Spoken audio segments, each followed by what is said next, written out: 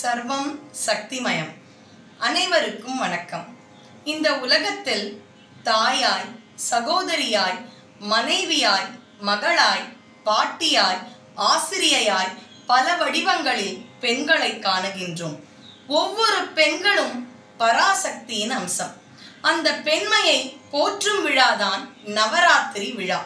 ஒன்பது நாட்கள் துர்கை லக்ஷ்மி சரஸ்வதி என முப்பெரும் தேவியரையும் வழிபடுகின்றோம். அதில் ஞானத்தை கொடுக்கும் சரஸ்வதியை மிக மிக மிக விமரிசையாக கொண்டாடப்படும் விழாதான் இந்த நவராத்திரி விழா.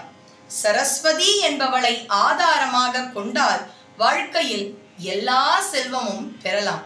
அந்த சரஸ்வதியை பற்றிய செய்திகள் சரஸ்வதியை பற்றிய பாடல்கள் இது எல்லாம் ஒரே சமயத்துல கேட்டா எவ்வளவு ஒரு பெரிய விருந்தே கிடைத்தது மாதிரி இருக்கும். ஏன்னா பாடல் பேச்சு எல்லாமே சரஸ்வதியினுடைய வடிவம். அதை இப்பொழுது நாம் ஒருங்கே அவளை பற்றிய செய்தியோடு அவளுடைய அற்புத கானங்களையும் கேட்க இருக்கின்றோம். வாருங்கள் சரஸ்வதி தியானத்தில் மூழ்குவோம். வெள்ளை தாமரை பூவில் இருப்பவள். அந்த வெண்மை அப்படின்றது எதை உணர்த்துகிறது அப்படின்னு பார்த்தீங்கன்னா தூய்மையை உணர்த்துகிறது.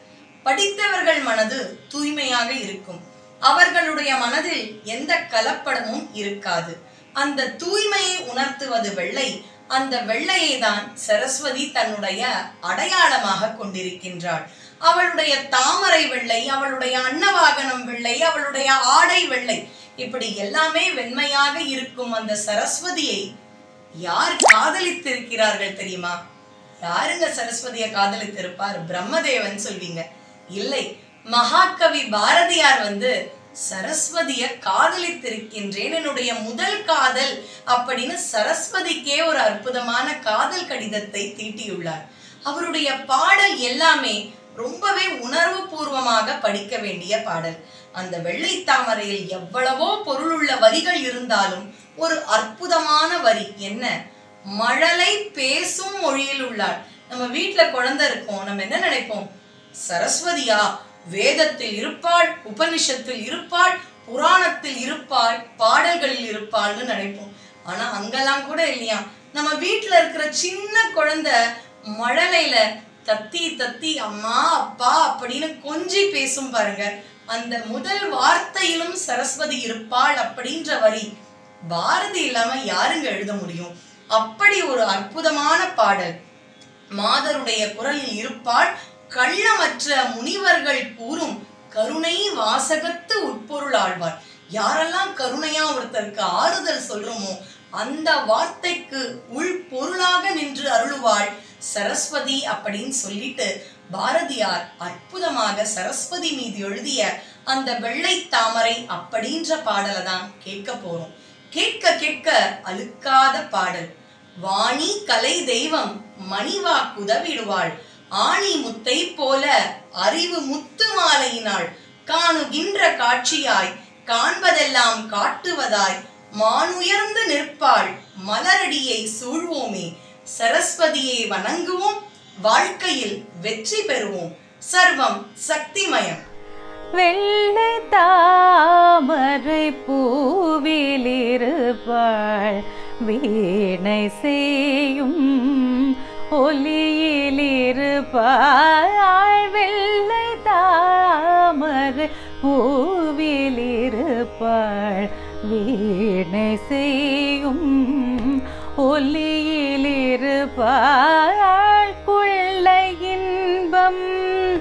குலவு கவிதை கூறும் பாவன உள்ளத்திலிருப்பாள் வெள்ளை தாமரை பூவிலிருப்பாள்.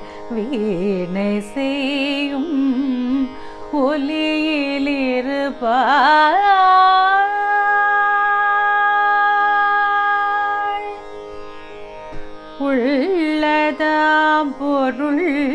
தேடி உணர்ந்தே. உள்ளதாம் பொருள் தேடி உணர்ந்தே. ஓதும் வேதத்தின் உண்ணின்றொழிவாள் உள்ளதாம் பொருள் தேடி உணர்ந்தே. ஓதும் வேதத்தின் உண்ணின்றொழிவாள் கள்ளமர் அவர்கள் கூறும் கருணை வாசகதூட்பொருளவாள் கள்ளமற்ற முனிவர்கள் கூறும் கருணை வாசகதூட்பொருளவாள் வெள்ளை தாமரை பூவிலிருப்பாள். வீணை செய்யும் ஒலியிலிருப்பார்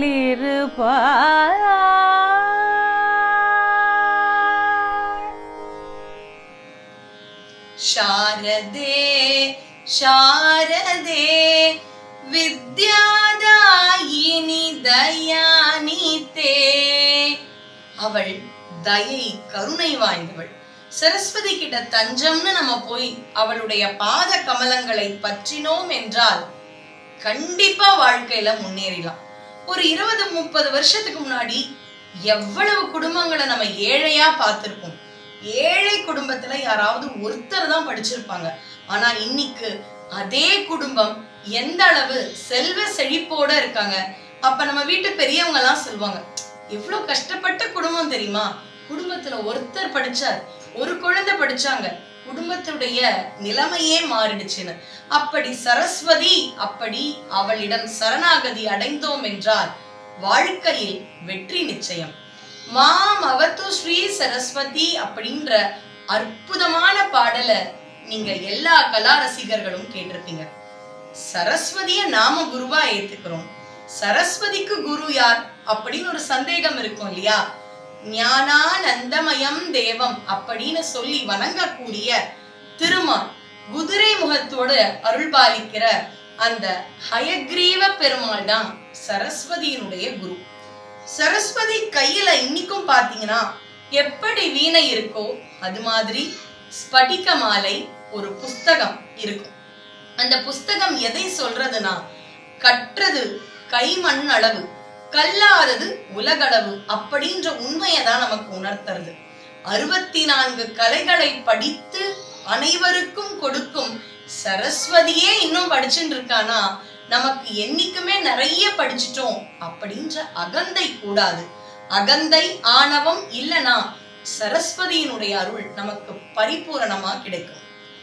மூவர் அப்படின்னு சங்கீதத்துல நம்ம கொண்டாடுற தியாகராஜ சுவாமிகள் முத்துசுவாமி தீட்சிதர் ஷியாமா சாஸ்திரிகள் அதுல முத்துசுவாமி தீட்சிதருடைய அற்புதமான பாடல் ஸ்ரீ சரஸ்வதி அப்படின்னு சரஸ்வதியினுடைய கருணைய சொல்ற பாடலை கேட்கலாமா वासनत्रय विवर्जित वरमुनिवन्दितमूर्ते वासनत्रय त्रयविवर्जित वरमुनिवन्दितमूर्ते वासवाद्यखिलनी वरवितरण बहुकीर्ते वासवाद्यखिल निजर वरवितरण बहुकीर्ते दरहासयुतमुखाम्बुरुहे अद्भुतचरणाम्बुरुहे संसारभीत्यापहे सकलमन्त्राक्षरगुहे श्री सरस्वती नमोऽस्तु ते। परदेवते श्रीपति गुरुगुहविनुते विधियुवते श्री सरस्वती नमोऽस्तु ते। ए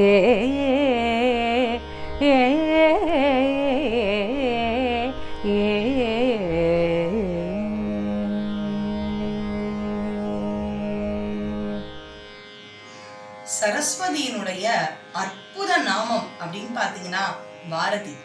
சுப்பிரமணியன் அப்படின்ற ஒரு கவிக்கு ஒரு அரசர் கொடுத்த விருது தான் பாரதி. ஆனா இன்னைக்கு சுப்பிரமணியன் சொன்னா நமக்கு தெரியாது. பாரதின்னு சொன்னாதான் தெரியும். அந்த பாரதி என்பது ஆணுக்கான பெயரானா இல்ல. பெண்ணினுடைய பெயர் சரஸ்வதியினுடைய பெயர். பாரதி அப்படின்னா திறமை மிக்கவர் அப்படின்ற ஒரு அற்புதமான பொருள் உண்டு.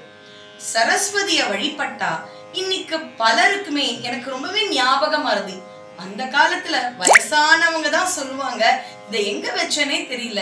அடிக்கடி மறதி வருதுன்னு. ஆனா இந்த காலத்துல நடுத்தர வயதினர் கூட எனக்கு ரொம்பவே பிரச்சனை ரொம்பவே ஸ்ட்ரெஸ் எனக்கு மறந்து போகுதுன்னுவாங்க.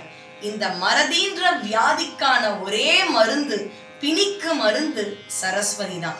சரஸ்வதிய வணங்க வணங்க ஞானம் பெருகும். புரந்தரதாசர் அவருடைய கீர்த்தனைகள் எல்லாம் அற்புதமா இருக்கும். ஒவ்வொரு கீர்த்தனையிலையும் அவருடைய பெயர். எப்படி தியாக பிரம்மம் ஞான சம்பந்தர் இவங்க அவர்களுடைய பாடல்கள் அவர்களுடைய பெயரை பதிப்பிப்பார்களோ அது மாதிரி புரந்தரதாசரும் அற்புதமா அவர்களுடைய பாடலில் அவருடைய பெயரை பதிப்பார். சரஸ்வதிய ரொம்பவே வணங்கி தாமரையில் வீற்றிருப்பவளே என அற்புதமாக புரந்தரதாசர் வழிபடும் ஒரு அற்புத கீர்த்தி தான் பாரதி அப்படின்னு ஆரம்பிக்கும் இந்த பாடல். கரகர பிரியாவில் அமைந்துள்ள ஒரு அற்புதமான பாடல் தான் இந்த பாரதி என ஆரம்பிக்க இருக்கும் ஒரு பாடல். சரஸ்வதி எங்கெல்லாம் இருக்கின்றாள்? நம்முடைய நாவில் இருக்கின்றாள்? நம்முடைய மனதில் இருக்கின்றாள்? புஸ்தகத்தில் இருக்கின்றாள்? குழந்தைகளுக்கெல்லாம் சரஸ்வதி பூஜைனா ரொம்பவே பிடிக்கும். ஏன்னா அம்மா எல்லாம் அன்னைக்கு தான் நீ படிக்க வேண்டாம்னு சொல்லுவாங்க.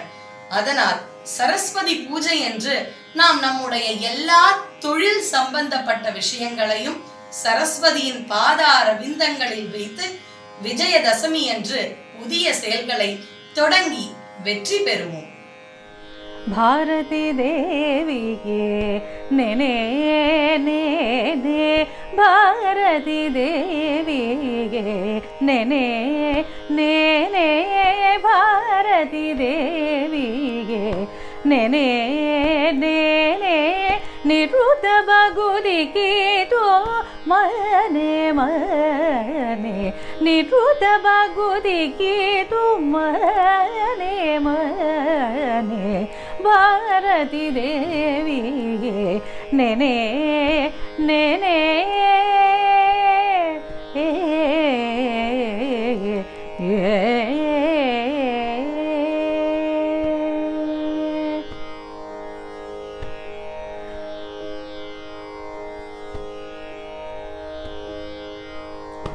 मारुतनतागे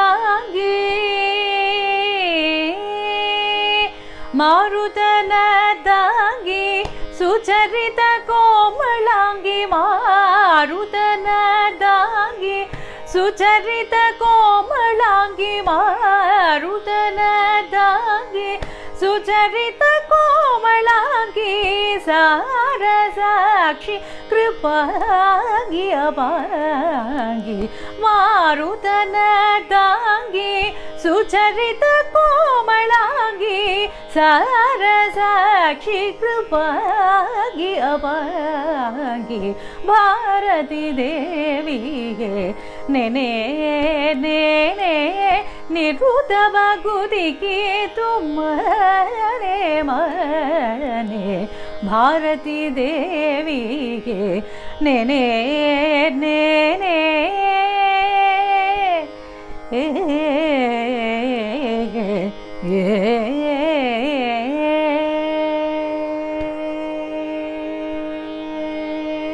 சரஸ்வதிக்குத்தான் எத்தனை பெயர்கள் கலைவாணி ஆகாசவாணி பாரதி வாக்தேவி வாகீஸ்வரி இது மாதிரி பெயர்கள் எல்லாம் நிறைய கேட்டிருக்கோம் ஆனா அதை தாண்டி தமிழகத்தில் பல கிராமத்தில் தமிழகத்துல மட்டும் இல்ல பல பாரத நாட்டு கிராமங்களில் கூட சரஸ்வதி வழிபாடு அப்படின்றது ரொம்ப நாட்களாகவே இருக்கு. அதற்கு உதாரணம்னா நாகாத்தம்மன் அப்படின்ற அம்பிகைய வழிபடும் பழக்கம் நிறைய பேர்கிட்ட உண்டு. பேச்சியம்மனை வழிபடுவோம். இது எல்லாமே சரஸ்வதியினுடைய வழிபாடு. எப்படின்னு கேக்குறீங்களா? நா நா என்றால் நாக்கு. டங் நாவை காத்த அம்மன் நாகாத்தம்மன். அவள்தான் பேர் மருவி வந்திருக்கு. நிறைய பேர் வந்து நாகத்தோட இருக்கிறதுனால நாகாத்தம்மன் என்று வழிபடுகின்றோம். அது ஒரு வழிபாடு. ஆனால் நாவை காத்ததாலும் நான் காத்த அம்மன் நாகாத்தம்மன் அது சரஸ்வதி வழிபாடு. அது மாதிரி பேச்சியம்மன் அப்படின்ற ஒரு வழிபாடும் நிறைய கிராமங்கள்ல உண்டு. குழந்தைக்கு பேச்சு வரலனா பேச்சியம்மன் கிட்ட வேண்டிக்கோ. குழந்தைக்கு பேச்சு வரும் ஞானம் வரும் கல்வி வரும். இதையெல்லாம் சொல்லுவாங்க. இந்த பேச்சியம்மன் வழிபாடு அப்படின்றதும் இந்த சரஸ்வதியினுடைய வழிபாடுதான். அவளிடம் இருக்கும் வீணைக்கு பெயர் கச்சபி அப்படின்ற ஒரு அற்புதமான பெயர். அதை வடிவமைத்தது யார்? பொதுவா இசைக்கருவில வீணை அப்படின்னாலே பெண் கருவின்னு சொல்லுவோம். ஆனா அதை வடிவமைத்து முதலில் வாசித்தது யார் அப்படின்னு பாத்தீங்கன்னா சிவபெருமானாம் ஒரு முறை பார்வதி அழகா தூங்கிட்டு இருந்தாளாம் அவளுடைய அந்த வடிவழகை பார்த்து சிவபெருமான் அழகா ஒரு இசைக்கருவி செய்தாராம். அதற்கு பெயர் கச்சபின்னு வைத்தாராம். அதோடு மட்டும் இல்லாமல் அதை எப்படி வாசிக்க வேண்டும் அப்படின்றத ரொம்ப அழகா வடிவமைத்தாராம். அப்ப சிவபெருமான் வீட்டுக்கு சரஸ்வதி எழுந்தருளினாலாம் ரொம்ப அழகா இருக்கேன்னு சொல்லும் பொழுது இது நானே பார்வதியின் அழகை பார்த்து வடிவமைத்த இசைக்கருவி. இதற்கு கச்சபின்னு பேரு. இசைக்கருவிக்கு வீணை. அதை நீயே வைத்துக்கொள்னு கொடுத்தாராம். அன்றிலிருந்து சரஸ்வதி வந்து எப்பொழுதும் வீணையோடு இருக்கின்றாள். அடுத்த பாடல் நல்லதையே சரஸ்வதியை எண்ணி பாட வேண்டும். நல்லத பேசாம இருந்தா கூட பரவாயில்ல. தீயதை பேசக்கூடாது வாணியே என வேண்டி நல்லதை மட்டுமே இல்லத்திலும் உலகத்திலும் பேசி வாழ்வோம்.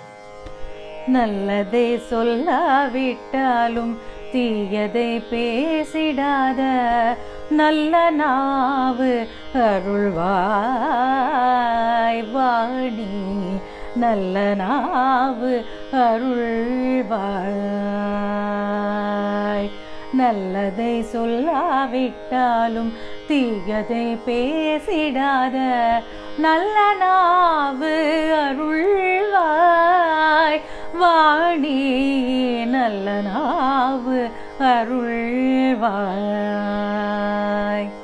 அல்லலுக்கெல்லாம் உனது அருளில்லாததே காரணம். அல்லலுக்கெல்லாம் உனது அருளில்லாததே காரணம். அல்லலுக்கெல்லாம் உனது அருளில்லாததே காரணம். அதனால் கலைவாணி உனக்கு ஒரு வேண்டுகோளம்மா. அதனால் கலைவாணி உனக்கு ஒரு வேண்டுகோளம்மா. நல்லதை சொல்லாவிட்டாலும் தீயதை பேசிடாத நல்ல நாவு அருள்வாய். வாணி நல்ல நாவு அருள்வாய். சரஸ்வதி அப்படின்ற அந்த அற்புத நாமம் நமக்கு நினைத்தாலே நம் மனதில் முதலில் தோன்றுவது என்ன அப்படின்னு பாத்தீங்கன்னா அந்த வெண்மை நிறம். வெண்மை நிறம் வெள்ளை தாமரை இப்படி எல்லாமே தூய்மையைத்தான் ஞாபகப்படுத்தும். அது மட்டும் அல்ல அவளுடைய அன்ன வாகனம் எதை உணர்த்துறது அப்படின்னு பாத்தீங்கன்னா அன்னம் எப்பவுமே பாத்தீங்கன்னா நல்லது எது கெட்டது எதுன்னு ஒரு மனிதர்களுக்கு கத்து கொடுக்கறது அவங்க படிச்ச கல்வி. அன்னமும் பால் நீர் அதை பிரிச்சு பாலை மட்டும் அருந்துமா. இப்பெல்லாம் நம்ம வீட்டுல அன்னப்பறவை இருந்தா தண்ணீர் கலந்த பால் வந்ததுன்னா நமக்கு அன்னப்பறவை அழகா பிரிச்சே கொடுத்துரும். அதனால அன்னப்பறவை எப்படி அந்த நீர் அதை எடுத்துவிட்டு உண்மையாக தூய்மையாக இருக்கும் பாலை மட்டுமே குடிக்குமோ அது மாதிரி படித்தவர்கள் தீயவர்களை ஒதுக்கிவிட்டு நல்லவர்களோடு பழக்கும் தன்மை வாய்ந்தவர்களாக இருப்பார்கள். இப்படி சரஸ்வதியினுடைய ஒவ்வொரு விஷயத்திலும் ஒவ்வொரு அற்புதமான தாற்பயம் தான் இருக்கு. ஊத்துக்காடு வெங்கட கவி அவர்கள். அவர்களை நினைச்சாலே நமக்கு யார் முதலில் ஞாபகத்திற்கு வருவார் அப்படின்னு பாத்தீங்கன்னா கிருஷ்ணர் தான் ஞாபகத்துக்கு வருவார். ஆடாது அசங்காது வா கண்ணா அப்படின்னு அவர் எழுதின பாடலை கேட்டுக்கிட்டே இருக்கலாம். ஸ்வாகத்தம் கிருஷ்ணா. இப்படி கிருஷ்ணரை யசோதையை விட கொஞ்சி கொஞ்சி பாடினவர் தான் ஊத்துக்காடு கவி அவர்கள். அவர்களுடைய ஒரு அற்புதமான ஒரு பாடல் சரஸ்வதியை வணங்கும் பாடலை தான் இப்ப நாம ரொம்பவே கேட்க இருக்கின்றோம். இந்த பாடலிலும் அவர் கிருஷ்ணரை விடல. கிருஷ்ணர் குடலூத சரஸ்வதி வீணையசைக்க ரொம்பவே அற்புதமான ஊத்துக்காடு கவியின் பாடலில் நம்மை மறப்போம். கீத ரசிகே சுகுணாலயே ராசகீத ரசிகே सुगुणालये रसगीतरसिके सुगुणालये। देवी सरस्वती सदये गीतरसिके सुगुणालये। देवी सरस्वती सदये गीतरसिके सुगुणालये हृदये श्रीकृष्णवेणुगानरागताळभावमोहरासगीत रागताळ सुगुणालये। श्रीकृष्णवेणुगानरागताळभावमोह रासगीत रसि हे శ్రీకృష్ణ వేణుగాన రాగతాళ భావమోహరాసగీత రసికే సుగుణాలయే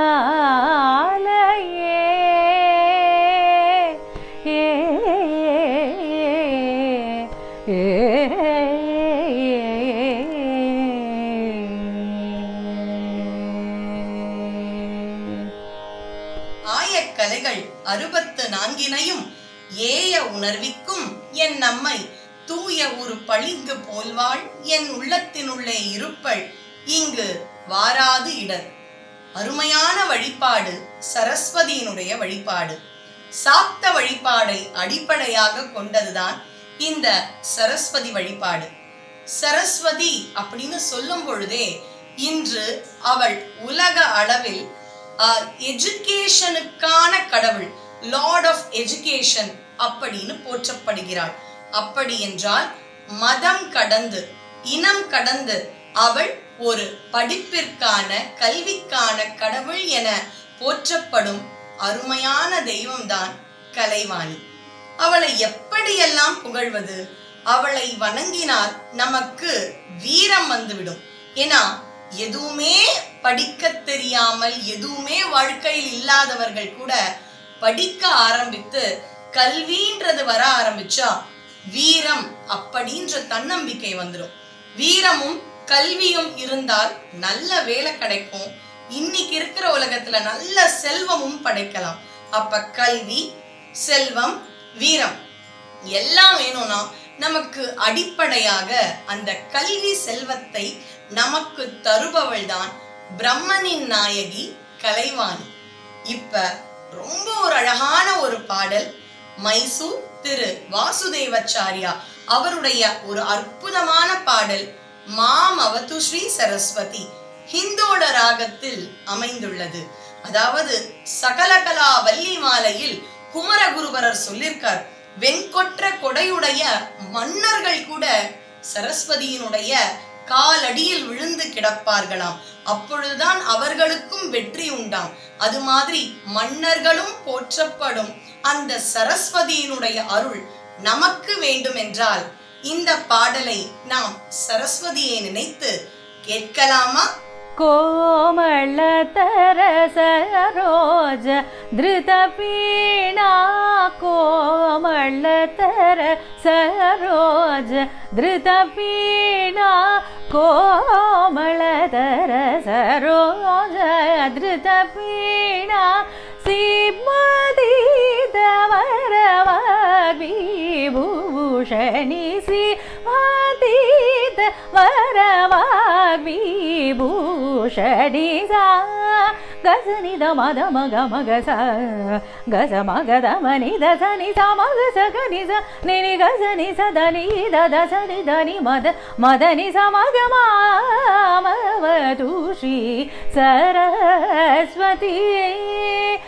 म कोटि पीठनिम मामवतु श्री सरस्वती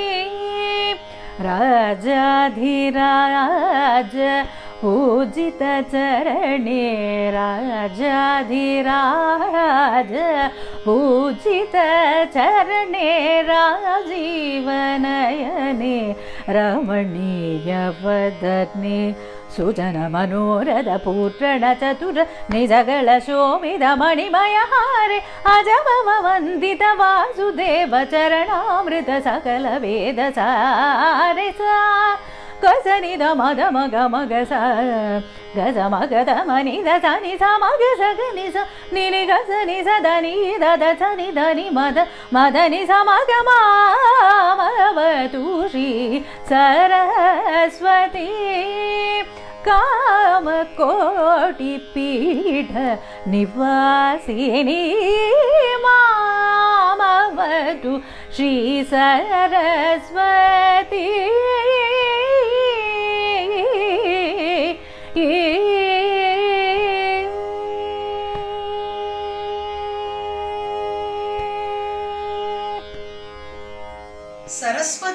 வழிபாடு கல்வியினுடைய வழிபாடோட நிறுத்திடுவோமானா கிடையாது. செய்யும் தொழிலே தெய்வம் அப்படின்னு சொல்லிட்டு நம்ம பாரத நாட்டுல நம்ம செய்யற ஒவ்வொரு தொழிலையும் சரஸ்வதியா காண்றோம். அதோட வெளிப்பாடுதான் சரஸ்வதி பூஜைய ஆயுத பூஜை அப்படின்னு நம்ம பாரத நாட்டுல கொண்டாடுறோம். இயந்திர வேலை இல்ல எந்த ஒரு தொழிற்சாலை இப்படி எங்க எல்லாம் எந்த வேலை செய்தாலும் அத்தனைக்கும் வழிபாடு சரஸ்வதி பூஜை என்று நடக்கும். சுவாதி திருநாள் மகாராஜா திருவனந்தபுரத்தில். அவருடைய கீர்த்தனைகள்லாம் அவ்வளவு அழகா இருக்கும். அவருடைய கீர்த்தனை தான் தேவி ஜெகஜனனி. அந்த பாடல் எவ்வளவு அழகான பாடல். சரஸ்வதி வீணா புஸ்தகத்தோடு அருள்பாலிக்கின்றாள். அப்படின்னு பொருள்பட ஒரு மகாராஜா எழுதின கீர்த்தியை தான் இப்ப நம்ம கேட்க போகிறோம். அனந்த பத்மநாப டெம்பிள் அப்படின்ற அந்த பெரிய ரகசியங்கள் பல இருக்கும். அந்த சுவாமியினுடைய அந்த ஆலயத்தை நினைக்கும் பொழுது நமக்கு பெருமாள் ஞாபகத்துக்கு வருவார் திவ்ய தேசம் ஞாபகத்துக்கு வரும். ஆனா அதை தாண்டி எப்படி மைசூர்ல நவராத்திரி விழா அவ்வளவு நல்லா நடக்குதோ அதே மாதிரி கேரளாவிலும் திருவனந்தபுரத்தில் இங்க ரொம்பவே நவராத்திரி விழா அவ்வளவு அற்புதமா நடக்கும். அப்ப அந்த ராஜ பரம்பரையில இருக்கிறவங்க நவராத்திரி பொம்மைகளுக்கெல்லாம் வழிபாடு செய்வார்கள். அது மட்டும் இல்ல யானை மேல சரஸ்வதியை ஏற்றி ஊர்வலம் செல்வார்கள். அங்க மதமெல்லாம் கடந்து கிறிஸ்துவர்கள் கூட சரஸ்வதி பூஜையினுடைய வழிபாட்டை ரொம்பவே அற்புதமா செய்வார்கள் அவ்வளவு ஒரு பிரசித்தி பெற்ற விழாவாக அந்த அனந்த பத்மநாபர் திருக்கோயில்ல சரஸ்வதி பூஜை நடைபெறும் அதோட வெளிப்பாடுதான் சுவாதி திருநாள் அற்புதமாக சரஸ்வதியை புகழ்ந்து எழுதின பாடல் அதையும் கேட்கலாம் वीणा पुस्तकरञ्जितकरतल विकसितकञ्जवरेबिके वेणी मञ्जिम कुञ्जविनेजित विततकनागन मालिके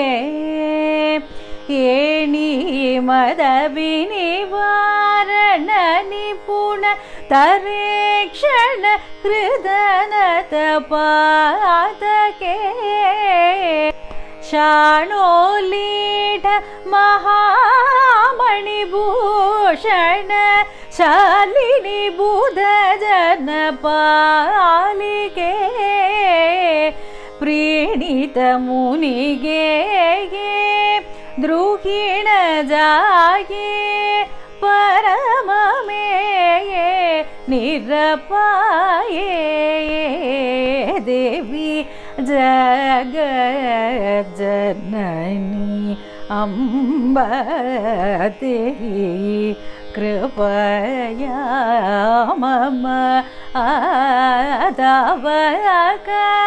आदवकचरण भक्तिम् अम्ब देवी जग जननी अम्ब ah,